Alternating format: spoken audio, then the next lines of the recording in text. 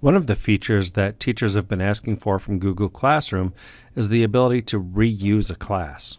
Go to any class that you want to update to show the Classwork tab, and then take your cursor to the lower left corner and click the question mark. This is where you can send feedback or ask a question.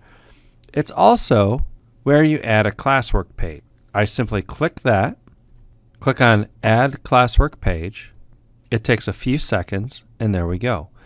Why is that important? Because when you're creating your new classes for the following year, you can click on the three dot menu, select Copy, and it will create a copy of that class, all of the assignments, all of the attachments, and create a new shell.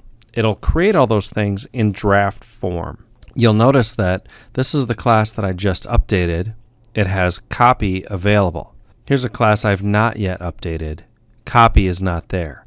The ability to copy a class depends on having that classwork tab. So that's why you would want to add it in the first place. When I copy that class, it allows me to create a new title, change the section number, change the subject, even add a room. Notice that it says rosters and announcements won't be copied. I'll go ahead and run this process.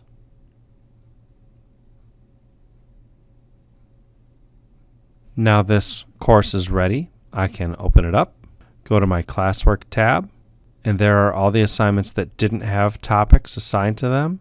Here are my topics, my assignments that are within each of those topics, and you'll notice that they are all saved as drafts.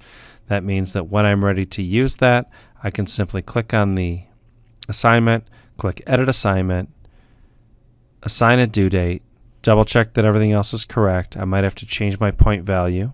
And then I can resave it as a draft, schedule it to be assigned, or click on Assign and make that available for students right away, just like normal.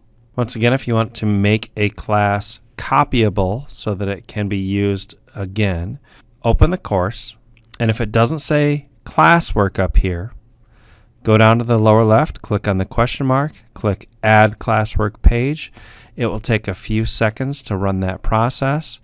And after a few seconds, there is that tab ready to go. That's all from the TechNollerGist today. Let me know how else I can support you with teaching and learning in your classroom.